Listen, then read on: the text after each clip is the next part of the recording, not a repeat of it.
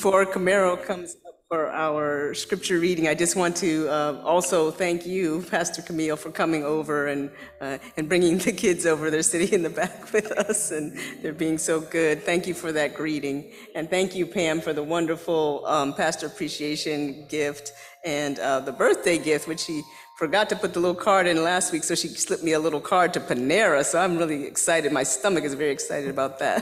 so, so thank you so much. And now the scripture.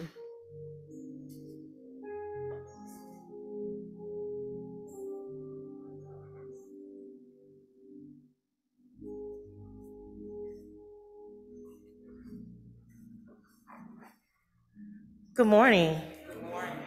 I'll be reading from 2 Timothy 4, chapter 4, verses 6 through 8, verses 16 through 18.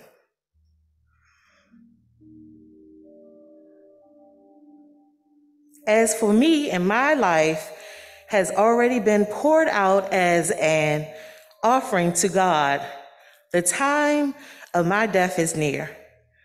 I have fought the good fight. I have finished the race and I have remained faithful.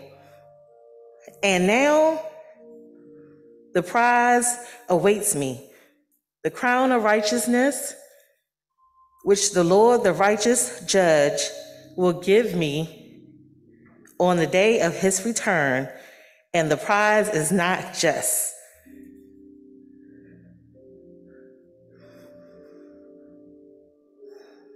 Verses 16. The first time I was brought before the judge, no one came with me. Everyone abandoned me. May it not be counted against them.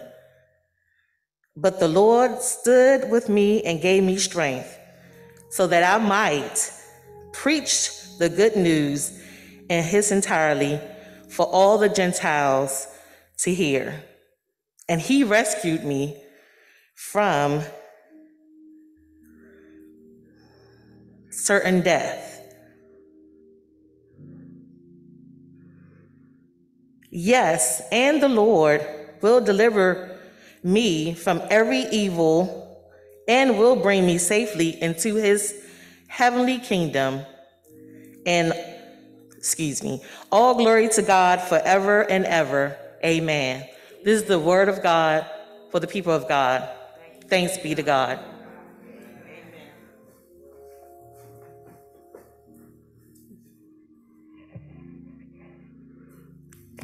Amen. Amen. Thank you for that scripture reading on this morning.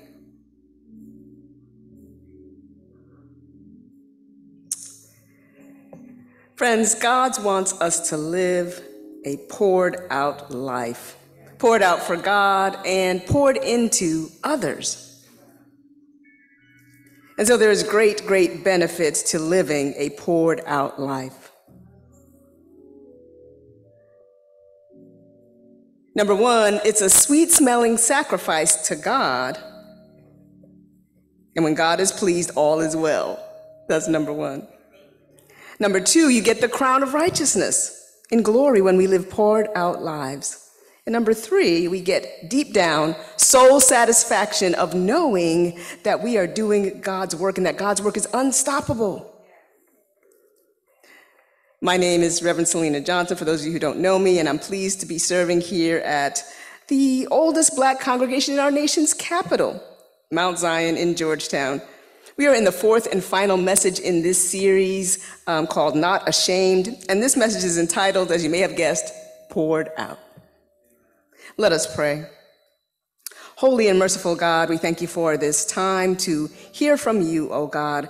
I pray that people would be inspired to pour their lives out for you in such a way that is pleasing to you and empowering to others. So remove me from myself, God, that we might hear this word from you, touch our hearts, our lives, our minds, and our very souls. In Jesus' name, amen. So back in the Old Testament, they had a system of sacrifices, and not to gross you out or anything, but you know they were animal sacrifices back then. You know they would bring the bulls, they would bring the rams, the lambs, the doves, whatever it was, and and uh, they would slaughter the animal and put it on the altar and just fire it up, right?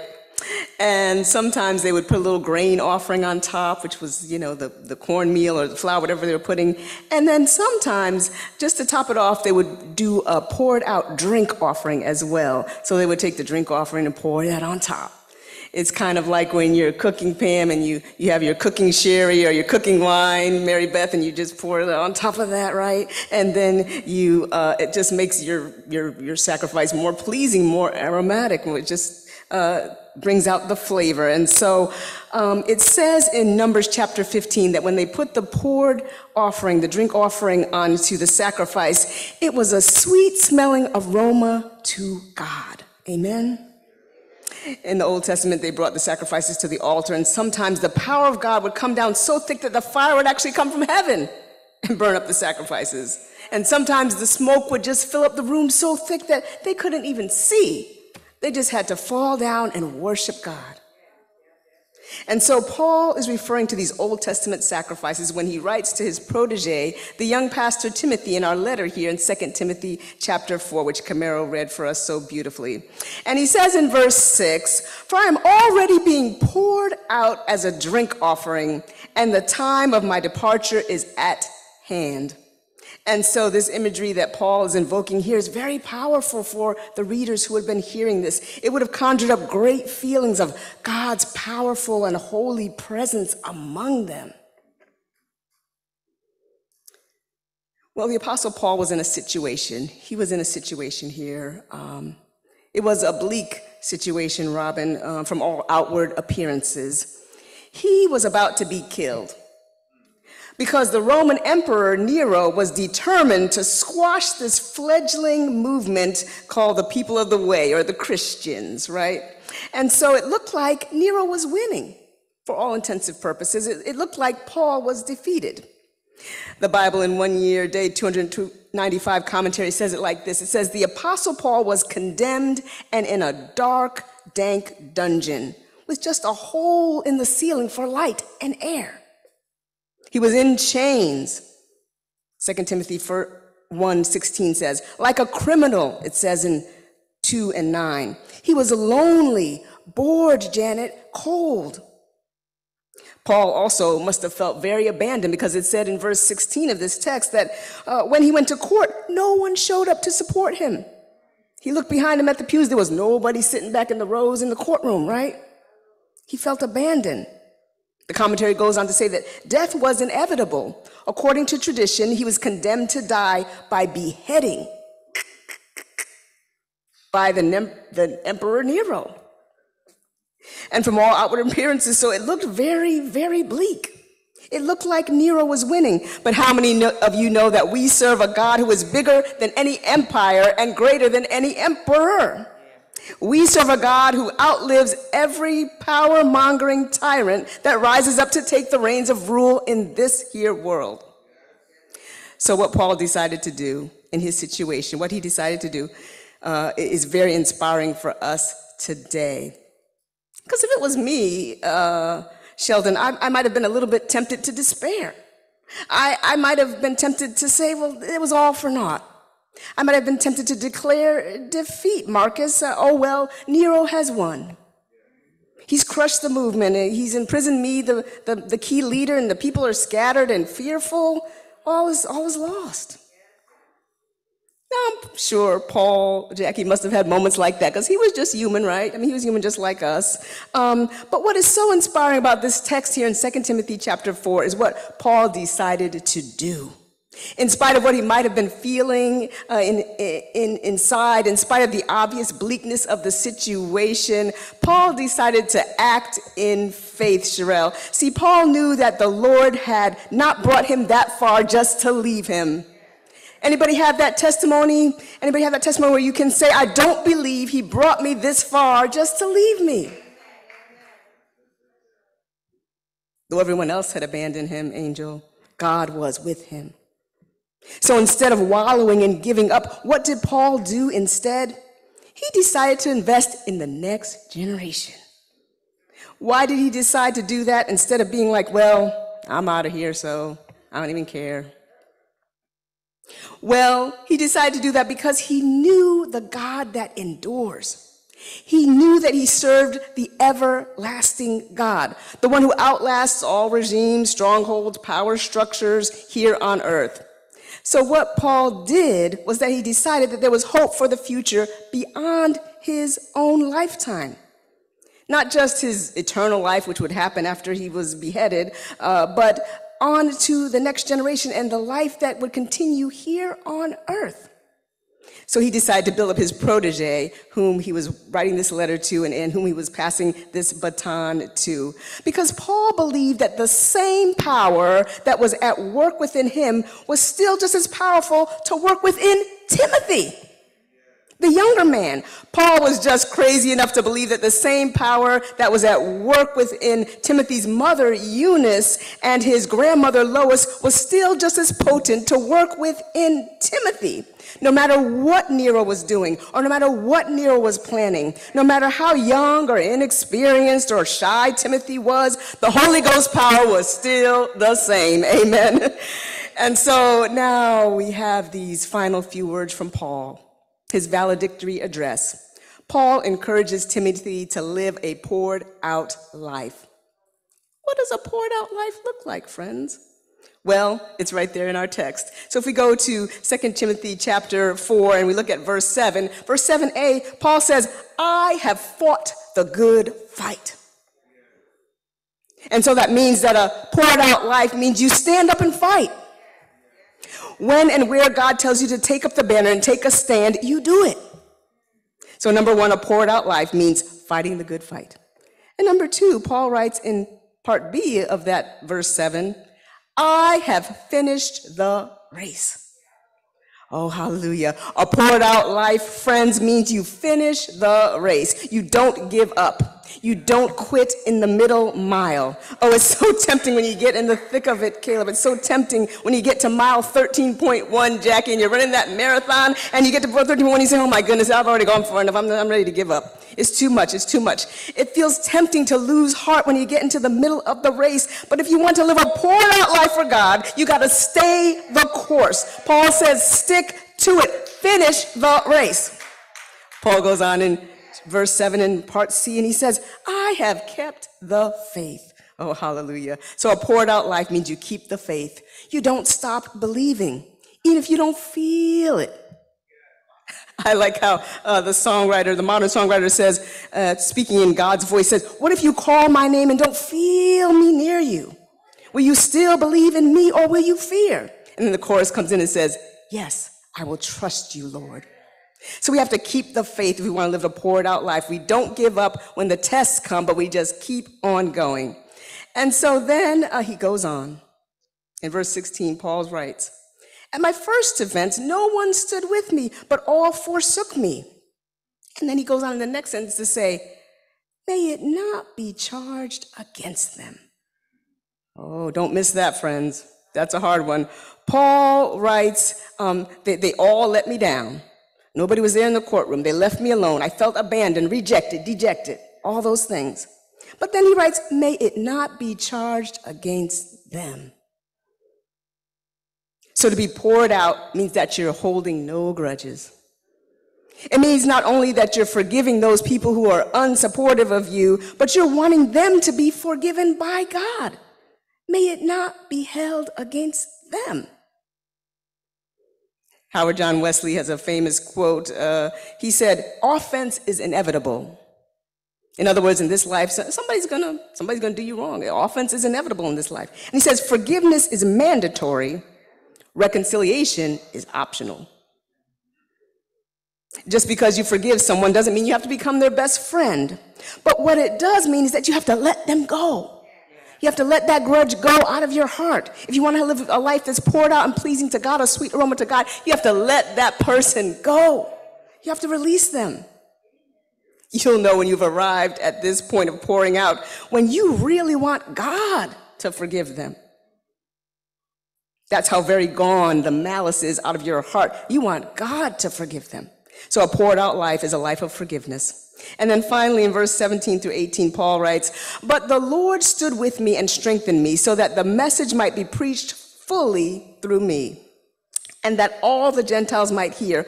Also, I was delivered from the mouth of the lion. And the Lord will deliver me from every evil work and preserve me for his heavenly kingdom. To him be glory forever and ever. To live a poured out life means that you testify. You don't keep it to yourself, Camaro.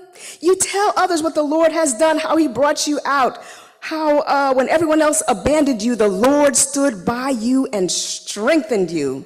You never had to walk alone ever. That's your testimony.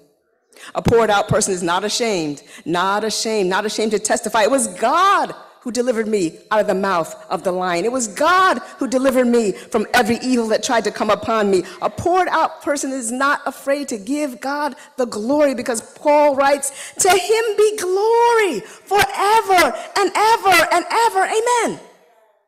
See, Paul did not want Timothy or the other followers of this fledgling new movement called the people of the way. He did not want them to feel dismay because he was suffering. He did not want them to feel discouraged at the, the shock and the anger they might have felt about the violence of his death. Paul did not want them to be discouraged. I like how Ellicott's commentary says it. It says, Paul would show them by his calm, triumphant language that to him death was no terror, but only the appointed passage to glory. So he speaks of his lifeblood being shed under the well known and peaceful image of the poured out wine over the sacrifice, the drink offering, the sweet savor unto the Lord. Amen. You see, Paul wanted to leave them encouraged and empowered. So let's fast forward to us today. Friends, we spend a lot of time lamenting still the death of Dr. Martin Luther King Jr and the other civil rights activists. We spend a lot of time lamenting that this era is bygone. And we say disparaging things about the civil rights movement, like, oh, every time we take one step forward, it seems like we get pushed back two steps. It makes our efforts seem futile. But guess what? We serve the same God that Paul served. The same God who used a prisoner in a dungeon with just a hole for light and air to write the Bible. And he says in his words, God, let my life be poured out. Paul encouraged Timothy to rekindle the gift and to get lit for God. Amen. Can you imagine how encouraged Timothy must have felt when he opened up that scroll and he started reading that? And the people he was reading it to, how encouraged they must have felt. They say uh, encouragement is like oxygen for the soul. Amen. And so, with whatever breath and life Paul had left, he wanted to use it to encourage that next generation who remained on earth, to encourage the leaders. A poured out life, friends, is a passed on life. Patti LaBelle said, When you've been blessed, pass it on. So encouragement is like oxygen, and enthusiasm is contagious, and joy is infectious. Amen. Let me just say that one more time. Encouragement is like oxygen, and enthusiasm is contagious, and joy is infectious. So bring that joy in, your poured out life. Paul wanted to encourage that next generation, and Paul wanted to pass on his enthusiasm for God and remind them of the Jesus joy that they had within them. We should be the same today. So encourage somebody today. Encourage a young person. Like their YouTube page. Cash app them some money, right? Call them and tell them to get out and vote. Amen. Write a letter to a budding civil rights activist and say, God's power is at work with you just the same as it was with the King generation. The next time we begin to despair, the losses uh, in the civil rights movement or experience that we're experiencing right now, the next time we begin to fear that white supremacy is winning and will always win in America and in the world, we need to stop we need to stop ourselves from being despairing and down in the mouth. And we need to stop and ask God, how can I live a poured out life? How can I encourage a young person today or young people today? How can I pray for them that the power and the conviction, the might of the Holy Spirit would be upon them just as it was with the previous generation? How can I convince them that Almighty God works within them, works within this generation today just as it did yesterday? Listen, they don't have Dr. King with them, but guess what? They have social media. They have a lot of powerful things. Church, the Holy Ghost power does not change. It doesn't dwindle. It doesn't diminish. It remains the same. So the same God, who's the God of justice in the Old Testament and the New Testament, is the same God who's on the throne this very Sunday today. And this God has never lost a battle. He's never lost a battle. And so to close, I want to say that I am praying for poured out lives here at Mount Zion. God wants us to willingly pour out our lives. And when we pour out our lives for Him, He richly rewards us with the crown of glory. Amen. Not only that, but when we pour out our lives unto others, that next gen, we get the satisfaction of knowing that God's work goes on here on earth. Paul wrote, The Lord stood by me and gave me strength. It wasn't so that Paul could beat his chest and be like, Look how the Lord loved me. It wasn't so he could be like, look how saved I am. I'm just so, so saved and sanctified. He wasn't writing it for that reason, uh, because we are all saved by God's grace. No, it was not for any of those reasons that Paul wrote that. In verse 17, the Lord stood by me and gave me strength. He continues on to write then the reason why he says that. The Lord stood by me and gave me strength so that, somebody say, so that very important word, so that the entire message would be preached through me and so all the nations could hear it. Paul knew he was being strengthened so that God's message would be preached to all the nations. Paul probably never could have imagined in his wildest imagination that it would be all the nations throughout all the history. He probably was thinking of the nations of his own day. But how many of you know that God is able to do exceedingly and abundantly more than we can think in our minds or imagine? Paul knew that he was being strengthened supernaturally so that God's will would be done in his life. Is there anybody here who God turned your test into a testimony? oh, hallelujah. Anyone here who knows that if it had not been for the Lord on your side, you don't know where you would be right now?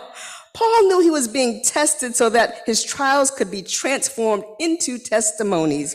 And guess what? His testimonies became written down letters, which became the New Testament, which still today encourages and strengthens people of all nations all over the world. Paul could have never imagined this in his mind.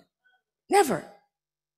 See, our human eyes cannot see all the glory that is God. It just has not been revealed to us in full. We don't know how or who or when or what our actions will affect. What we do right now could impact someone a hundred years from now. What we do right now here in DC could impact someone a thousand miles away in Korea or in California. We just don't know. So be encouraged. Be willing to live that poured out life. Be encouraged. Look around you. Be encouraged. Your condition is not your conclusion. Amen. When you are poured out for God and poured into others, it makes a difference. It has an impact beyond what your eyes can see. And that's why when we walk by faith, we walk by faith and not just what our eyes see. When we are poured out for God, it makes a difference beyond what our human minds can imagine. It's immeasurably more Poured out lives go beyond our human lifespans. Poured out lives get the crown of righteousness and the satisfaction of knowing that God's will has been done here on earth just as it is in heaven. So pour out your life like a drink offering before God because the same spirit that was at work within Paul and work within Timothy's grandmother Eunice and his mother Lois is at work with us here today. The same spirit that was at work with those 125 souls who 206 years ago decided to begin this congregation and step out on faith is still at work today. The same spirit that was working within Dr. Martin Luther King Jr. as he poured out his life for this movement that he loved is still the same spirit today. So finish the race Finish well. Pour it all out for God because the same power that was within Mamie Till has not diminished. She might have thought, what does it matter if I have an open casket for my son's a funeral? My son is gone. She might have despaired, but the Spirit told her, do it, Mamie. And Emmett Till's open casket set the whole civil rights movement on fire. So do it, finish it, cross the finish line, run the race well. Keep the faith. Get out the vote. The God of justice for the oppressed and the marginalized sees you as you're filling in your little bubbles. You, might think, oh, it doesn't matter if I fill. Yes, it does because God is looking at you. Pour it all out for God, Mount Zion. Pour it all out. Not in anger or unforgiveness, but with a calm assurance. Yes, I'll get my crown. Just say, I'm on the battlefield fighting for the Lord, and I know I'll get my crown. I believe that the Reverend Dr. Calvin O. Butts III, God rest his soul, the famous pastor of the historic Abyssinian Baptist Church in Harlem, New York, I believe he got his crown this past week because he stood up for the residents of Harlem back when they were mostly poor and oppressed people. When I was attending that church, he orchestrated the construction of a major supermarket in the middle of a food desert. See, back in the day when I used to work in Harlem, and there were some spots up in Harlem where I'm told it was sudden death to let somebody see you even stop to catch your breath. that was those deep, deep Harlem blues back then. But this was the mission field that God called him to and, and just, just inspired him to pour out his life onto this mission field for five decades. And so I know that Dr. Butts is now walking around heaven with a very great crown of righteousness on his head. And I believe that that same God that inspired and empowered him is working within us today. So pour it out before God. Pour it all out and bless others with that blessed assurance that God is present during the trials and transform them into testimonies just like a caterpillar gets transformed into a butterfly, it's going to change you and change other people around you. And you will say, like Paul, the Lord never left my side. The Lord stood by me all the way. The Lord strengthened me each and every time. The same God that uh, loves you, the same God that did this loves you and sees you. And that's the same God that empowers us today. Amen. Amen. Amen.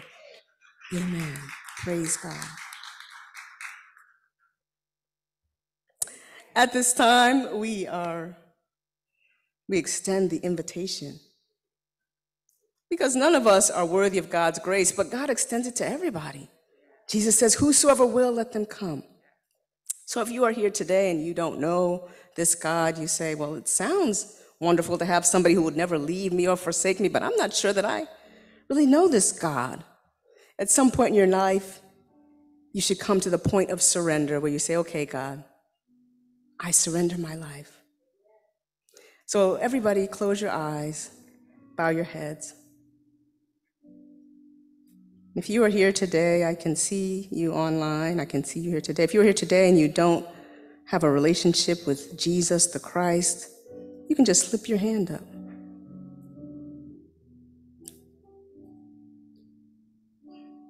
Or you can just raise your virtual hand if you would like. If that's you, just pray this prayer. Just say, God, I want to live my life for you because I believed you lived your life for me. That you came here in person to show me the way. That you died just for me. Forgive me and save me. In your Son, Jesus' name, amen. Amen. If that was you, I believe that Christ has heard your even faintest cry and runs to your rescue on today. Amen. Amen. At this time, I'd like to invite our choir back up for another selection.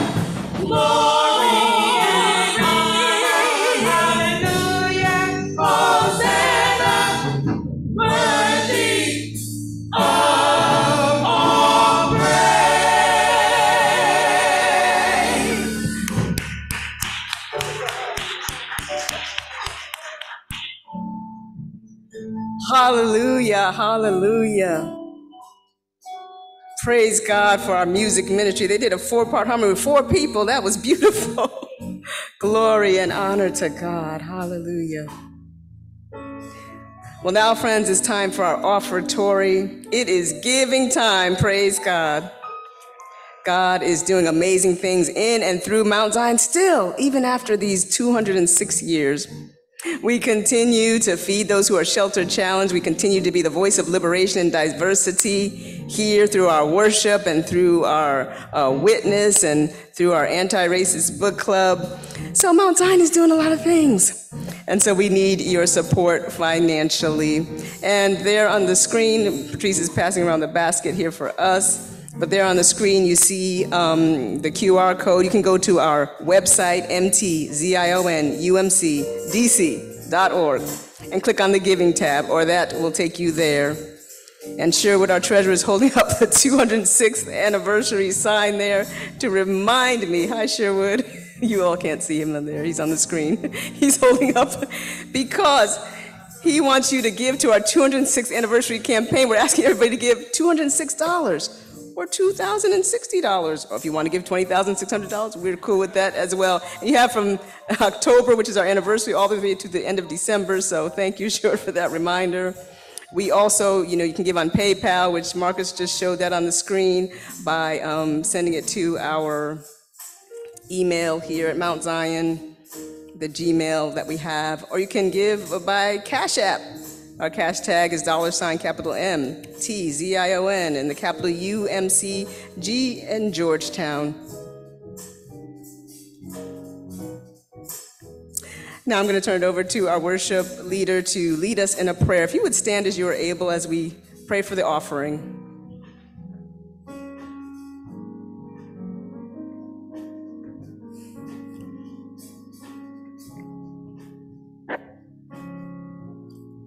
And loving Creator, the provider of all things, we strive to give as you have given with a generous spirit and a humble heart. We give thanks for all those who have given to further your kingdom. Bless these offerings and the givers and those who had a heart to give but were, able, were not able to. In the name of Jesus Christ our Lord, we bless these offerings. Amen. Amen. You may be seated.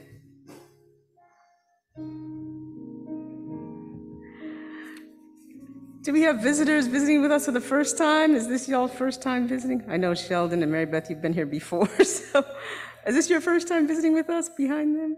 Oh, welcome, welcome. Would you like to share with us your name and where you're from? And are there any visitors online? I see a lot of familiar little squares there, but I have to be sure. I don't know. Um, good morning, all. My name is Demola. I'm visiting from England and very love service. Next one. Oh, thank you. Good to see you. Hi, Lola. Live in the neighborhood and first time visiting. Oh, amen. Oh, you live right. You don't even have to find parking. You can just come on over, Lola. Thank you all for visiting. We pray that something that was said, sung, read here, or welcome just blessed your heart on today. And we pray that you would come back and join us. Amen. We're going to go over a few of the announcements before I duck out here. Do we have the announcements? Uh, oh, there we go. Thank you.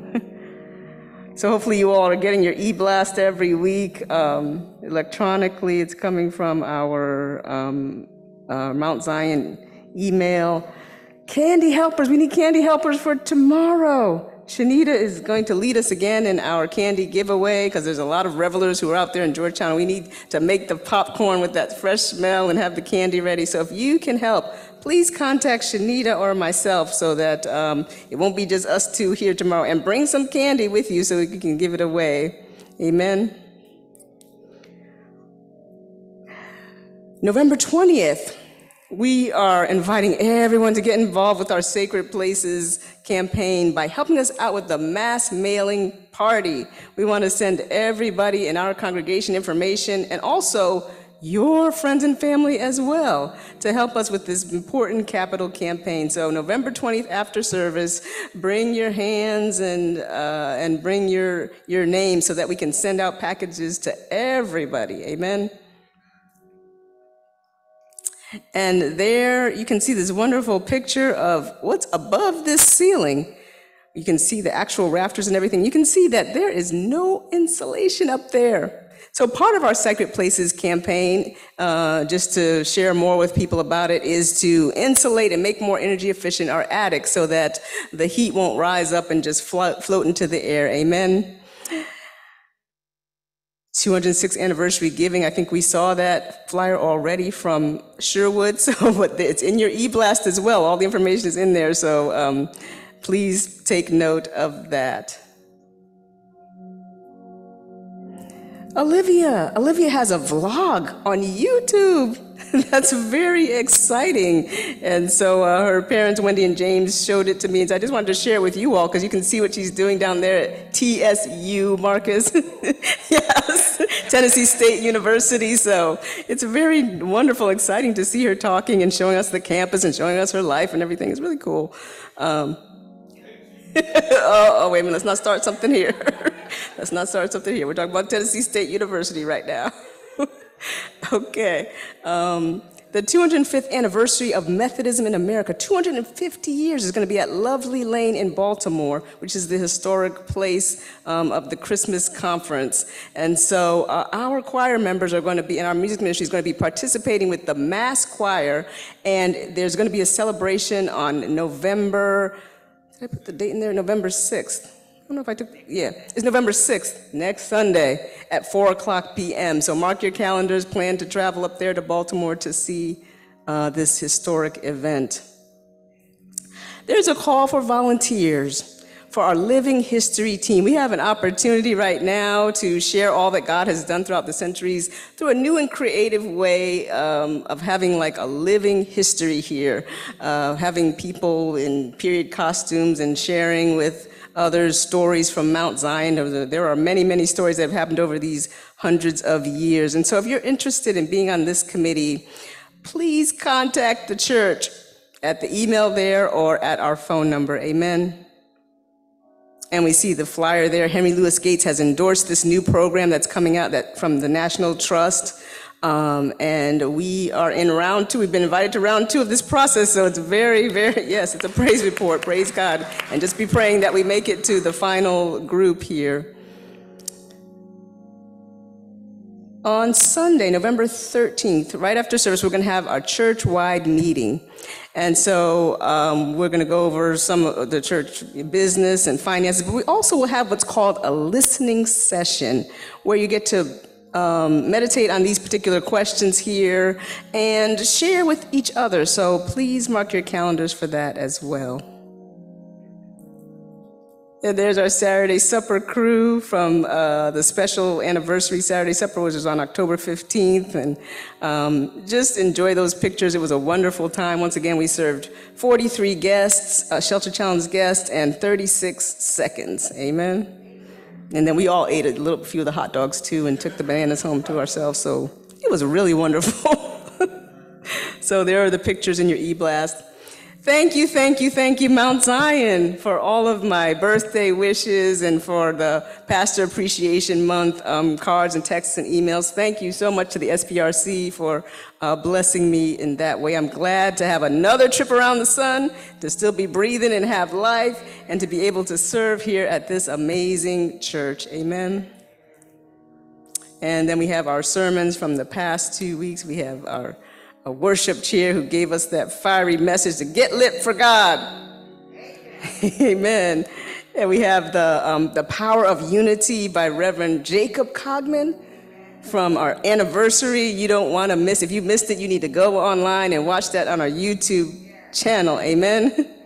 Powerful.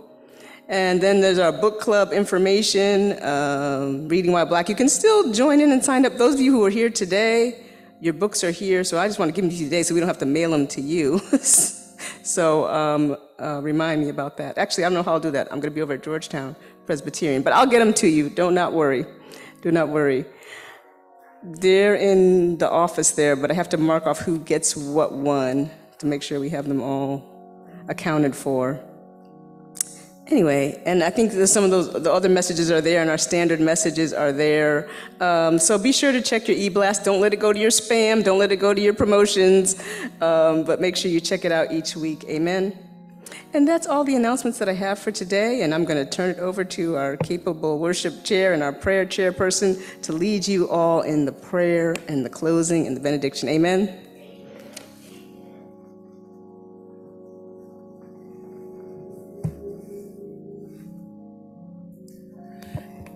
So, Robin, I'm not as um, I'm not hooked up to Zoom, so I'm not as good as um, Pastor Selena to be able to see both at the same time.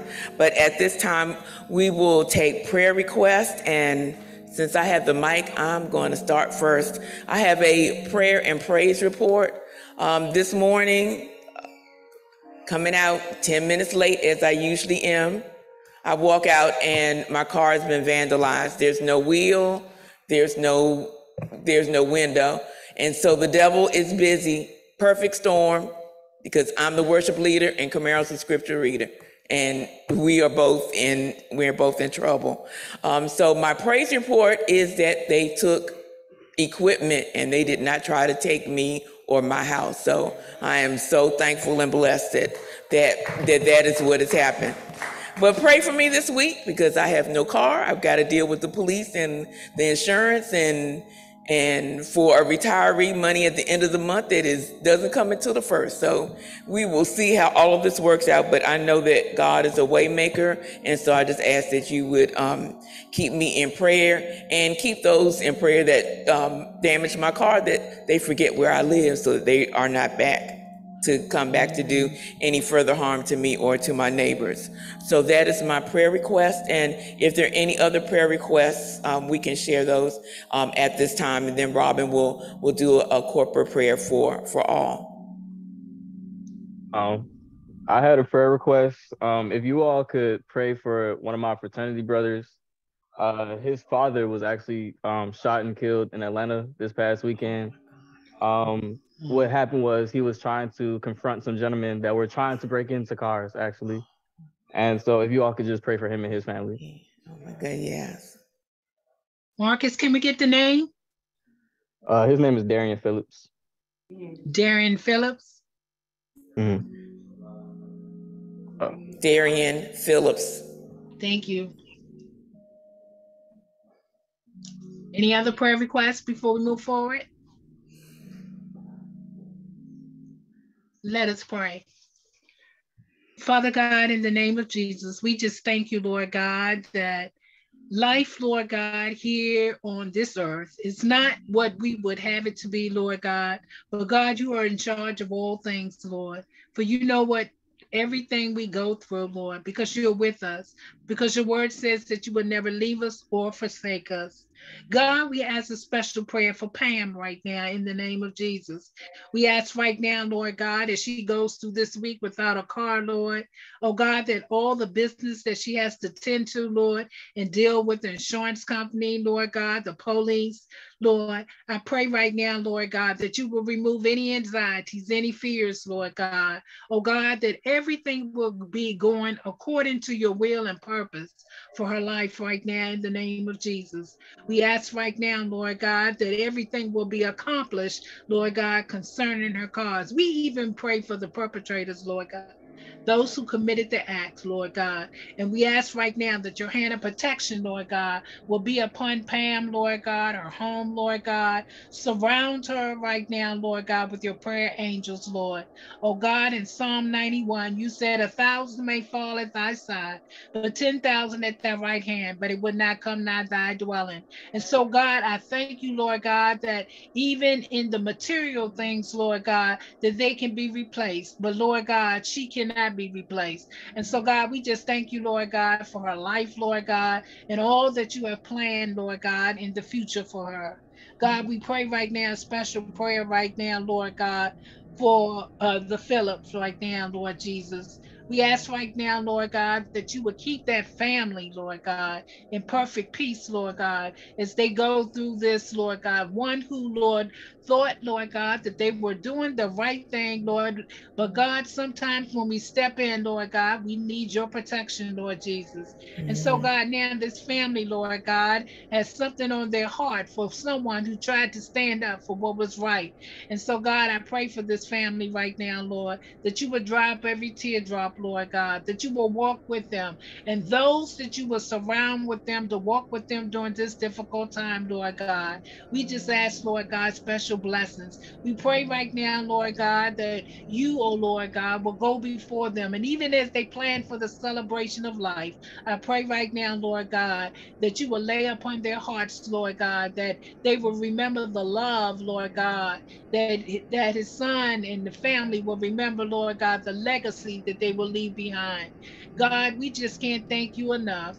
We thank you for those who journeyed into the church today, God, that you had your hand of protection upon them. And so we ask for the traveling mercy back home for them, Lord God, that they will be safe, Lord God, from all hurt, harm, and danger. For we know, Lord God, tomorrow is not promised to us. But we simply want to say, Lord God, thank you for being in our midst today. Thank you for the worship experience that we had. Thank you, Lord God, for everything that has already transpired and for this week to come. For God, we do believe that you're doing a new thing in Mount Zion. And so, God, as we receive this new thing that you're doing, we thank you, Lord God, for those members that you sent to us on last week. We thank you, Lord God, that we're able to say, Lord God, that you, oh Lord God, continue to bless us anyhow, no matter what we're going through, no matter the storms in our life, Lord God, that keep on raging. We thank you that we feel your presence. And now, God, as we come to the close of this service, we ask that you will continue to have your own way with us this week. And as we go through this week, Lord God, help us to pour out to someone else, Lord, and then fill us back up, Lord, so that we might pour into others' lives. We ask this in the precious name of Jesus, we pray. Amen and amen. Amen. Amen. Amen. Amen. And we will have our final musical moment of meditation.